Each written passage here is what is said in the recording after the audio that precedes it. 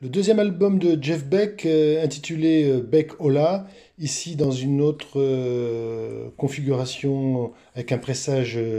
allemand des années 80, intitulé The Most of Jeff Beck featuring Rod Stewart. Mais c'est exactement la même tracklist que l'album original, avec Jeff Beck à la guitare, Rod Stewart au chant, Ron Wood à la basse, Nicky Hopkins au piano et Tony Newman à la batterie. C'est parti